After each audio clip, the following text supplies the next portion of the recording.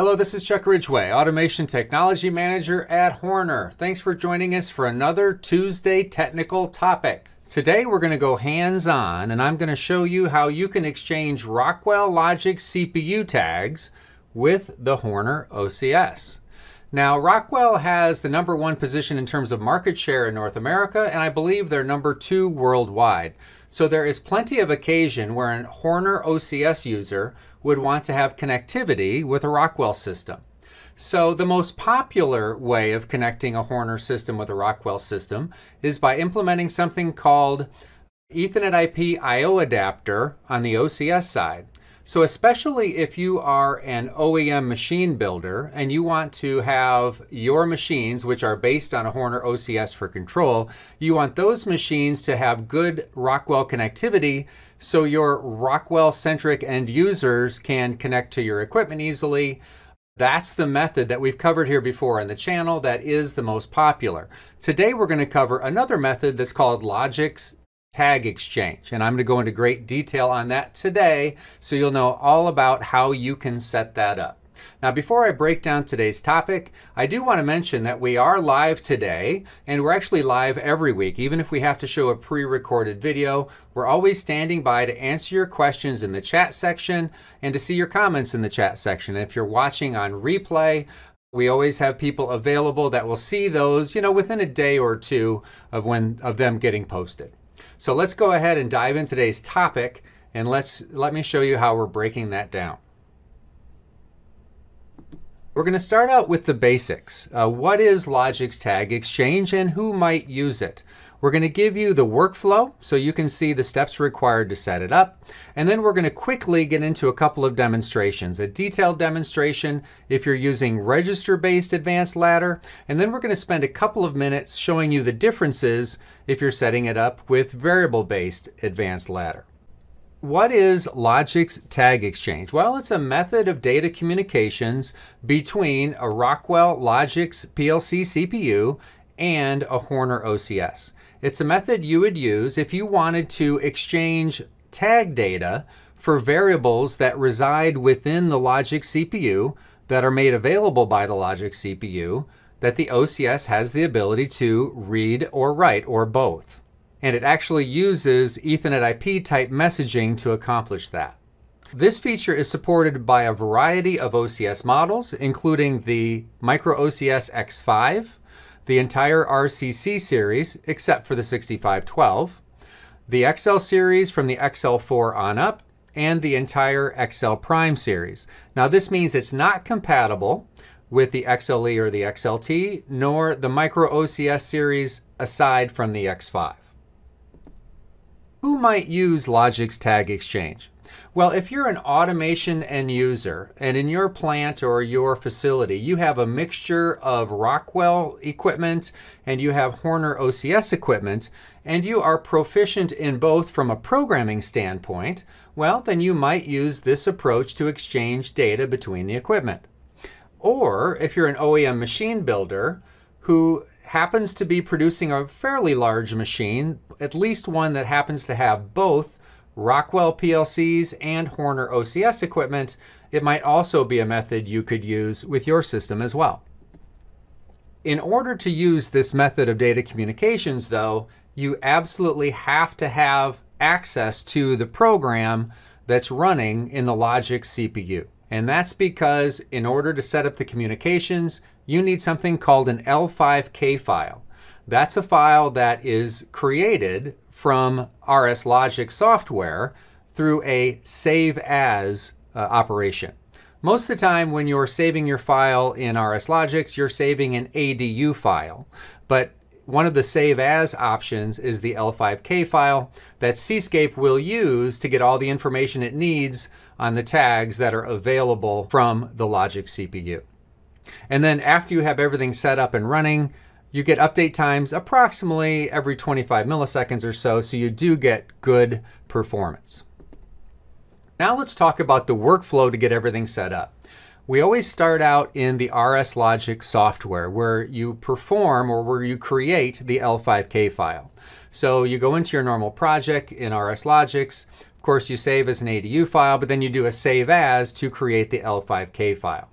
Then there's an optional second step within RSLogix that I recommend, and that is go ahead and perform an export function of your tags as a CSV file. And I believe that's available in the Tools section in RSLogix. Then you leave RSLogix and you head over to Cscape. So in the Cscape software, you're going to import the L5K file. And as part of that process, you're actually going to be able to browse and select the tags that you want to map over into OCS register space or OCS variable space.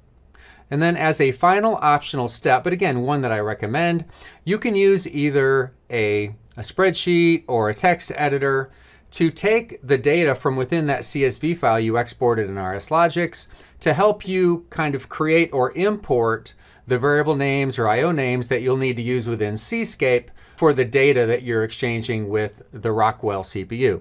Because those names don't come over to the OCS registers or the OCS variables automatically. So this is the workflow. Now let's go ahead and dive right into a demonstration of this method. Now I'm going to show you first how to set up Logix Tag Exchange if you're using register-based logic. And this is a demonstration I recorded earlier today. Hopefully it will give you the information that you need. Before we can import Logix tags into Cscape, we're going to need to create an L5K file from RS RSLogix that can be imported into Cscape. So to do that, you can see here I've got my project, with my logic, all my tags and all that sort of thing. So this is the program actually running live in the CompactLogix controller. So I'm going to go ahead and do a file save as to create the L5K file. L5K is one of my choices here. And I can just hit save. There we go. So I've created that L5K file that I will later import into Cscape. Now I like to take an extra step here, and that is I like to export just the tag names themselves into a CSV file. And that is because that can be used later to help me create IO names inside of Cscape for any tags that I choose to map into local OCS register space. Because when I do that, when I take those tags and map them into local OCS register space, those local OCS registers don't by default have a name. So to create those, typically I want them to have the same name as the tag that was imported or that they're tied to. That's why I like to use that CSV file to help me accomplish that. Because I could have a couple hundred tags and doing something more kind of automatically or semi-automatically from a file is going to be more accurate than just creating them all from scratch. So I'm going to go to the Tools section of RSLogix, hit Export, and when I export tags and logic comments, that's where you can see here I'm exporting a CSV file of my tags. All right, let's start the process by going to the Program menu and we'll select Import Tags from L5K file. So now what we want to do is we want to import device. And that's where we find the L5K file that we previously exported from RSLogix. And the name that was captured of that CPU comes through. The IP address is set to some default. And let's go ahead and fix that. So in my system, that's 192.168.0.10. Now, one thing about the name. This name came through, but it's actually too long for Cscape. Cscape wants a descriptive name of 12 characters or less. So I'm going to change the name here just to Rockwell.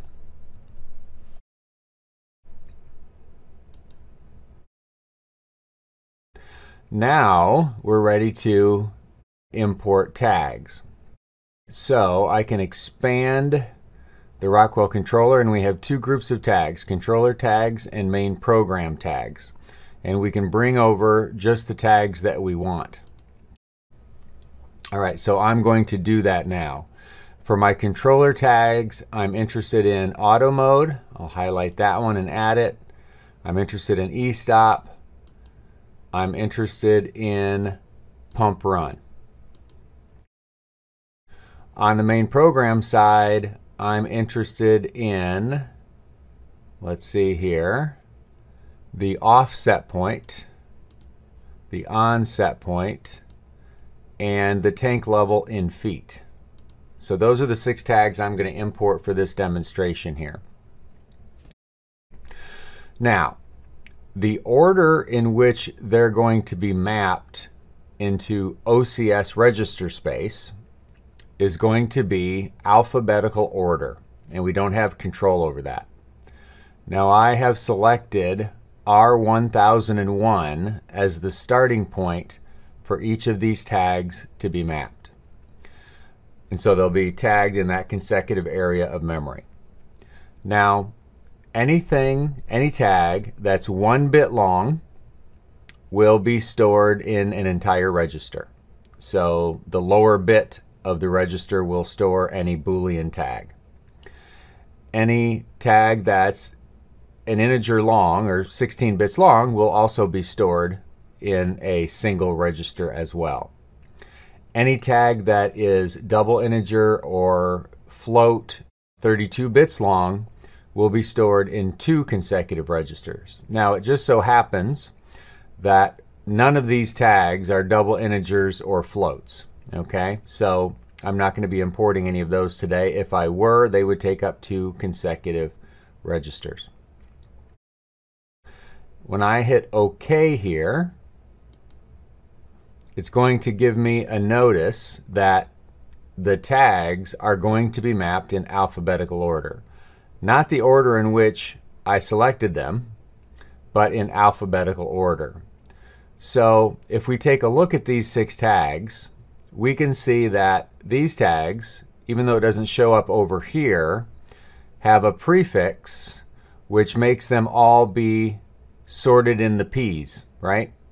So the order we're going to be, that these are going to be brought in is going to be auto mode, e-stop, then these three tags, and then finally the pump run. So that's just something for us to be aware of there.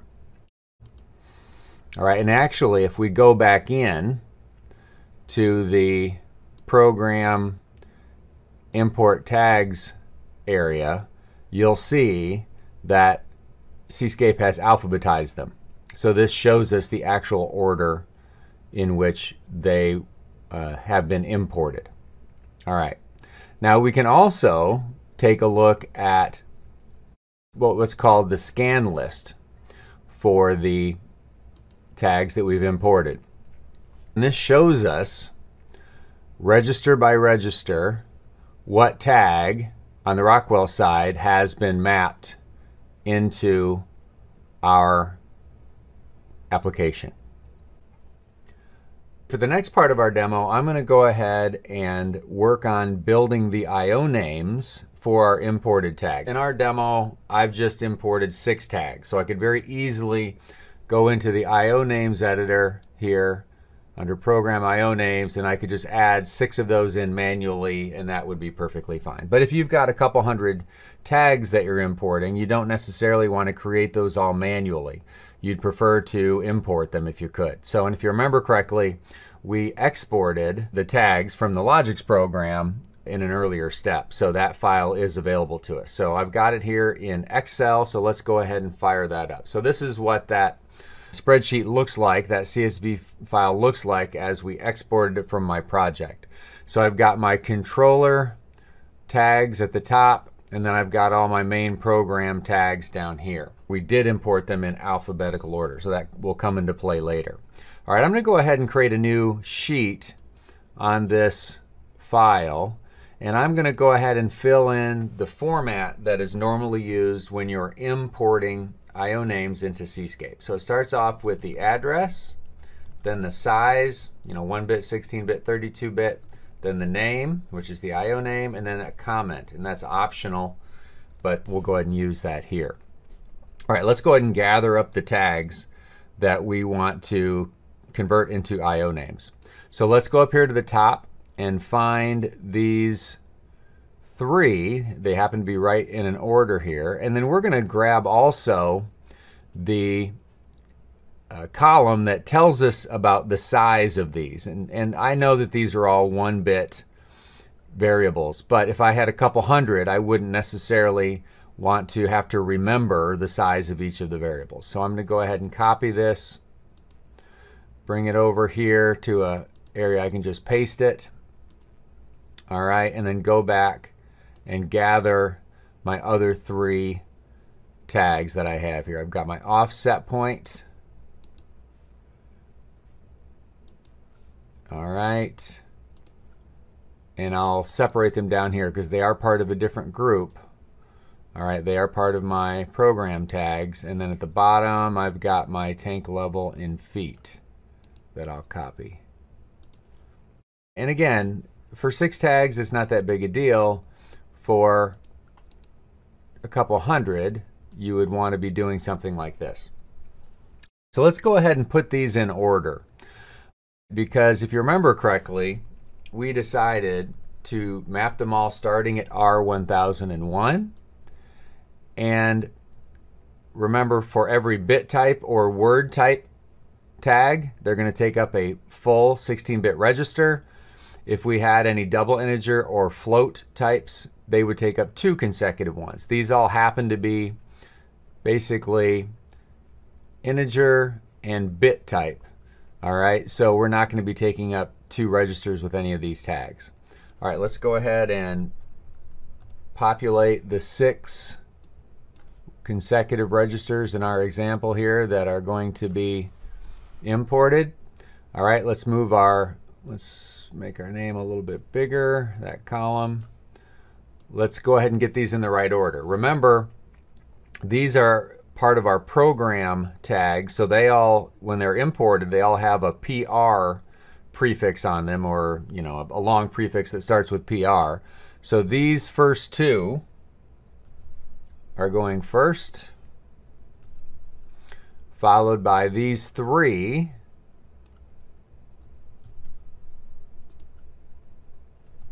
And then finally followed by this one, because again, these will start with PR as they were imported and this one has a PU. So we'll put that here. From a comment standpoint, we don't have to put any kind of comment if we don't. You know, it's an optional field, but we'll go ahead and just put imported from Rockwell here as a comment. And comments can contain spaces and they can be identical. They don't have to be unique. So I just went ahead and added that there. Now let's talk about size. These three are actually bit type and these three are actually word type. But remember when we imported them, they import into a full word. So for now, let's go ahead and make these 16-bit in size because they're imported into a full word. So we're going to import them all as 16-bit variables to start. And you'll see the method of my madness later. Now there's a bug in Cscape where it doesn't import the last one in the list. So we're going to add another one to the list. So I'm just going to add good old faithful always on so that even if Cscape eventually fixes this bug, if it gets imported, it's no big deal. All right, so to actually do the import, what we do is we don't highlight this header that I created, but we just highlight that piece of data right there. Okay, right click and say copy. And then we go back into Cscape go back to Program IO Names, and we hit the Paste button. It says, are you sure you want to paste these IO names and overwrite any duplicates? Yes, I do. And there they are. Okay, they showed up. Great. The last step, I need to hit OK. Let's go ahead and take a look and double check our work. So I'm going to go back into Program import tags, and I'm going to click the protocol scan list, and let's see if we got these right. So this is a good way to double check our work. And we can see here, auto mode, auto mode, e-stop, e-stop, offset point, onset point, take level feet, pump run. So we got them in the right order. So that's an important step to make sure we've imported them properly. Now I'm going to do another step, and that is I'm going to change the six the the actual tags that were one bit variables. I'm going to change them to one bit so that when I go to use them in my program, that they're actually the right size. Or, actually, probably better, what I'll do is I'll actually create some additional variables that are one bit in size. Okay, so the ones I need to change are auto mode, e-stop, and pump run. So what I'm going to do is I'm going to change these to change this to a one bit and then change this to one bit. Oh no wrong one. E-stop to one bit. There we go. And then change pump run to one bit. All right. And then I'm going to add a suffix on here to differentiate this IO name from the one I've already imported.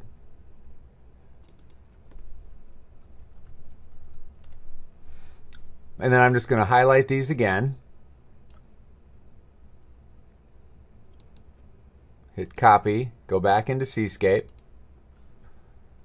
go back to IO names, and hit paste. It's going to ask me, and I say yes. So now we've got additional tags that are of the Boolean type. And those will be useful to us when we actually go in and use them in our program. So again, if we quickly go back to program, import tags, and view the scan list, everything still lines up nice and straight. But when we go into and our program and use the the uh, tags in our program or the imported IO names into our into our program, it makes it real easy to find the ones we want. So I can go to the view edit screens now and populate on these objects the tags or the IO names that I want. So for each of these bit type objects or bit type graphical objects, I just went ahead and assigned them all to T1 as a temporary measure for each of these integer type tags, when I created the screen originally, I just mapped them all to R1 originally. That's just something that I do sometimes if I draw my screen ahead of the point at which I fill in the proper variables. So now I just need to go in and fill in the appropriate variables for each of these objects. So let's start with e-stop. And I can just go and pull it right from the list. So I'll, they're, they're in alphabetical order, all the tags that are in here. Okay, so there's e-stop boolean. That's the one I want. Let's go to auto mode. All right, so same thing here. We can just find it from the list. Auto mode boolean. Got it. Next we'll go to pump run. Alphabetical order. Pump run boolean. And then these, we'll just have the original names because the types all matched nicely. So this is the on set point. So scroll up to on set point. Then we have the offset point. And then finally, we have tank level in feet.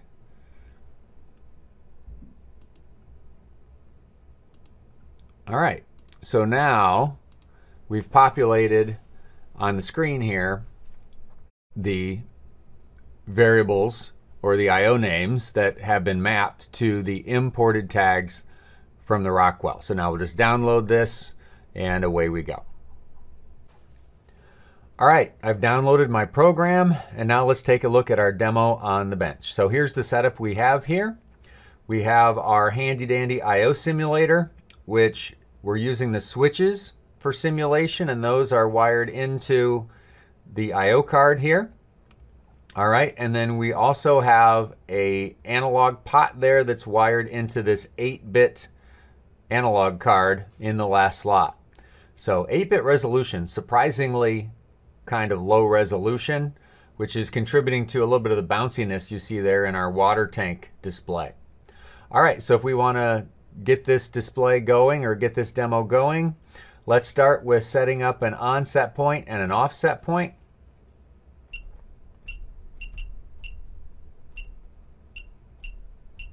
So in auto mode, our pump will turn on at 100 and off at 50. and that data is being freely exchanged with the Rockwell right now, along with the water tank level, as you can see. So to operate our system, we need to make sure our e-stop signal is okay. That's wired into the six, sixth switch. You can see it turning on there. Next, we need to go into auto mode. That's wired into the fourth switch. And since we're in auto mode, now I can dial up the tank level, which I'm simulating with my milliamp pot. And then as I go above 100, we should turn on. And as I get back below 50, we should turn off again. So you can see everything is working as it should. We've got a free exchange of tag data between the OCS and the Rockwell CPU, and everything's working as we want. That's the setup approach if you're using register-based advanced ladder. What if you are using variable-based instead? In this short demo, I'm just going to show you some of the differences if you're using variable-based advanced ladder instead of register-based ladder and you want to import tags from a Logix CPU. So I start out in my variable-based advanced ladder by creating an arrayed variable. So it's an integer type array. I went ahead and sized it at 500, just like you might use if you had a fairly sizable number of tags that you wanted to import. You know, in my demo here, I have six tags I'm importing, so this is way overkill. But it's a size you might use for a larger project. And then I went ahead and mapped this array starting at R1001. When you're dealing with communications, it's usually best to map your variables. And it's easy to do uh, right here in the program variable editor. Next, let's head to program, import tags from L5K file. We're going to follow similar steps as before. Import device, find our L5K file, set up our IP address. And once again, this name is too long for Cscape, so we're just going to call it something shorter within 12 characters. Not going to change the port number. There we are. And we're going to import the same tags that we did before.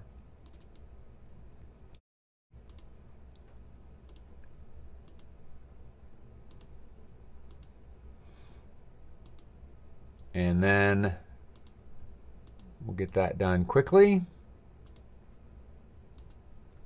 Now, of course, here we need to put a variable, not a register. So this is where we're going to select the first element in the array that we had previously created. And really, that's pretty much the main difference when it comes to importing the tags. It's just that you're going to select the first member of an array instead of a specific memory location. So just like in the register-based advanced ladder, I went ahead and added in names for all the variables that I imported locally for Cscape here. I put them in retain variables. So there's my original array.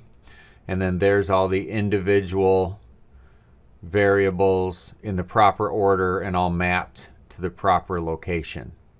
Okay, and you don't have to manually enter them from here. You can take advantage of the edit variables as text feature and use one of the available formats in your text editor, whether it's this IEC format or an XML format or CSV format to basically import using your text editor instead of just manually typing them in. So that's a demonstration of both register-based logic as well as variable-based logic for setting up Logix Tag Exchange. All right, so let's wrap up our topic for today. We covered the fact that Logix Tag Exchange is available in many OCS models. We covered that early in the session. We stated you must have access to the Logix program, specifically an L5K file, in order to use this feature. You can map tags from your CPU in your Rockwell over to the OCS to specific OCS registers. And then there are a variety of ways you can use to uh, create the IO names or the variable names in Cscape for the corresponding variables that have been imported. So as we close today, I want to mention the fact that uh, we are here every Tuesday at 2 o'clock. Uh, and we're always standing by to answer your questions on every week's topic, whether we're fully live or whether we are showing or streaming live a pre recorded video. Now, next week, we think we've got a good topic for you. Now, we have covered extensively on this channel using Cscape with variable based advanced ladder as well as the traditional register based advanced ladder. Where we haven't spent as much time, but we're changing that, is with using the IEC 61131 languages as your control languages within Cscape. Next week is the first of a four part series where we're going to cover four of the most popular IEC languages available in Cscape if you use IEC style logic programming.